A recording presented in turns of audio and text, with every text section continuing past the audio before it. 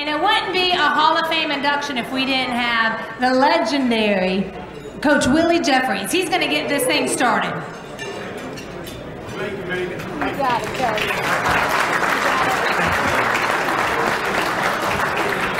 Thank you very much, Megan, and welcome all of you to the 2019 enshrinement of the football, South Carolina Football Hall of Fame. And I'd like to welcome everybody except George Rogers and, and Danny Ford. everybody else, welcome. Uh, okay, um, we're giving the presenters four minutes and we're giving the inductees six minutes. And that's long enough. If not, I, I gotta do it. I gotta do it. Uh, Megan, Megan, of all, you just made history, hon. Out of all of my introductions, yours is the most recent. Thank you. I, uh, there, there's one particular gentleman that we are honoring tonight, uh, Mr. Harold White, and Harold and I were in, in college together. I copied off of Harold's paper.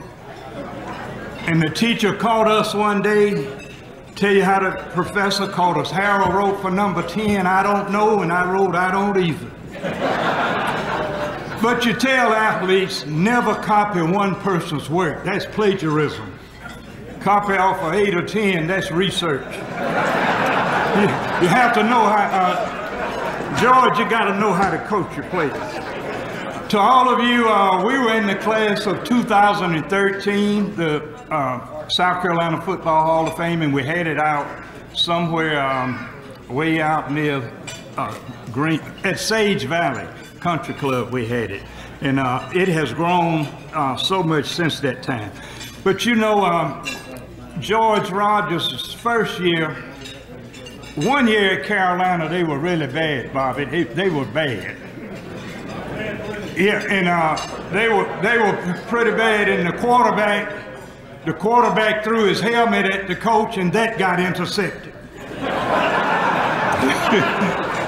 that was pretty bad. Um, we um, we are very remiss, and I would like to announce this, and I, I want to. Um, I know we've had prayer, but we need to do just a 30 second moment of silence for the, the great coach Cally Gault from Presbyterian College who passed away a couple of days ago. Uh, must have coached at North Augusta and then at Presbyterian for years and years. So let's please do a moment of silence in honor of Coach Cally Gault.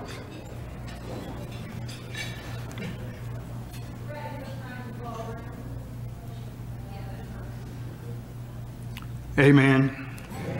Uh, there are some young there are some young recipients here tonight, and I have a my wife and I, my first wife and I have been married for 57 years.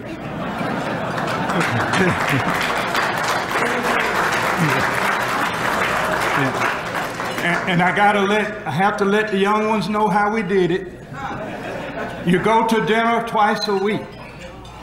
Dim lights, soft music, good food. She goes on Tuesday, I go on Thursday. Don't go the same night, you know.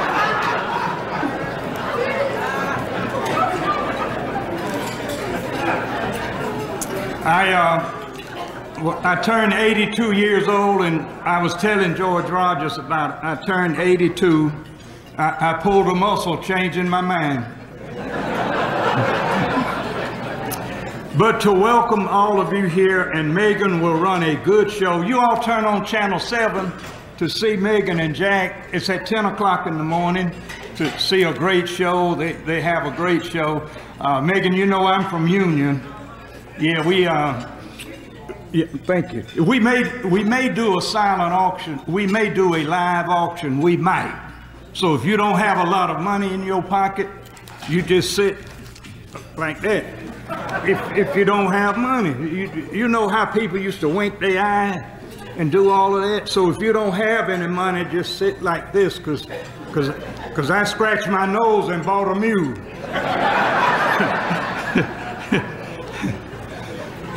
to our inductees tonight that are going to be enshrined, I'll have to do it as I do it every year.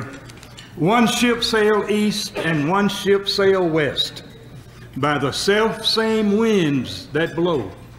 So it is not by the gales, but the setting of your sails that determine which way you will go. So to all of our inductees tonight, we are so happy that you set your sails on a course that led to the great state of South Carolina. Thank you very much.